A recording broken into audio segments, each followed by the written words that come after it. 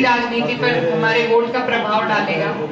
तो इसीलिए आपसे मैं गुजारिश करने आई हूँ कि आपका जो ये वोट है इस वोट को आप इसका ऐसा सदुपयोग करें इसको सही जगह पर डालें। ऐसी जगह डालें जहाँ आपके वोट की कदर हो जहाँ कोई आपके बीच आए आपके सुख दुख में आपकी परेशानी में आपकी परेशानियों का निस्तारण करा सके या उन्हें संसद तक उठाने का काम। डबल इंजन की सरकार चल रही है। और पिछले पाँच साल से हमारे जो यहाँ से सांसद जी हैं, उनका कार्यकाल भी आप सबके सामने है। इतनी, इतने धरने हमने यहाँ मील पर दिए।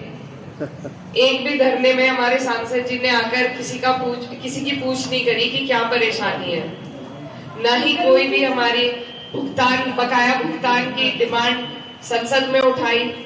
न एमएसपी के दावे का मुद्दा एक बार भी उठाया। और ना मुझे उम्मीद है शायद आपके बीच भी, पूरे पाँच साल में कभी नहीं आए होंगे। तो जो सत्ता है, डबल इंजन की सत्ता है, उसका लाभ भी तभी होगा हमें जब हमारा जनप्रतिनिधि कोई ऐसा हो, जो हमें लाभ पहुंचाना चाहता हो। हर जगह प्रधानमंत्री आके काम नहीं कर सकते, हर जगह मुख्यमंत्री नहीं काम कर सकते। यहाँ के काम, यहाँ के एमएलए यहाँ के एमपी यही के लोग कर सकते हैं। और जब वही लोग हम ऐसे चुनेंगे जिनकी इच्छा ना हो हमारे लिए कुछ करने की तो फिर पाँच साल का, पाँच साल का पछतावा रहेगा। आज पाँच साल के पूरे कार्यकाल के बाद ये वक्त आया है हमारे पास गलती उनकी नहीं है। गलती हमारी है कि हमने उन्हें बिना मांगे अपना वोट दिया। नब्बे नब्बे परसेंट एक तरफा वोट दिया। और जब बिना मांगे कोई चीज़ दी जाती है तो उसकी कदर कहीं नहीं होती तो जब हम धरनों पर बैठते थे सब बड़े बुज़ुर्ग यही कहते थे, परेशानी में ही धरनों पे बैठा जाता है, कोई अपनी मर्ज़ी से खुशहाली में नहीं बैठता।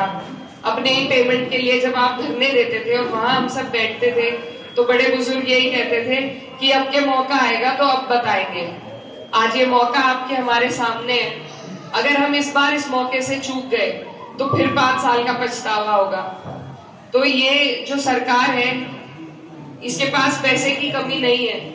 लेकिन आपका और हमारा 200-300 करोड़ जो मिलों पे है, वही ये दिलाने में क्यों चूक जाते हैं? क्योंकि ये आपकी और हमारी खुशहाली चाहते ही नहीं। ये बात आपको और हमें समझने की है और इसी को सोचते हुए अपना वोट देने की है। तो ये टाइम है, आपका, आपने जो पूरे पाँच साल परेशानियाँ झेली है, उसका जवाब देने का यही वक्त है और माध्यम है वोट, और किसी तरीके से हम जवाब नहीं दे सकते। तो इसीलिए मेरा आप सभी से अनुरोध है कि आप लोग सही जगह वोट डालें। मैं भी क्षेत्र की बेटी हूँ। मेरे पिताजी यहाँ से विधायक भी रहे। सांसद भी रहे और उन्हें खास तौर पर जाट समाज का बहुत लगाव बहुत लगाव था उन्हें जाट समाज से और बहुत प्यार उन्हें मिला। यहाँ से जब वो मुजफ्फरनगर लड़ने गए थे, लोकसभा का चुनाव तो भी वो आप सबके दमखम पर ही वहाँ लड़ने गए थे। तो आप लोगों ने हमेशा परिवार को प्यार दिया, मेरे पिताजी को अपनाया, उन्हें कई बार जनप्रतिनिधि बनाया और उन्होंने भी हमेशा मजबूती के साथ आप सबकी सेवा करी। आज और कभी उन्होंने कोई भेदभाव नहीं करा। ना वो इस बात में यकीन करते थे। वो हमेशा यही कहते थे कि किसी भी नेता की कोई जात होती है, ना कोई धर्म होता है, ना बिरादरी होती है।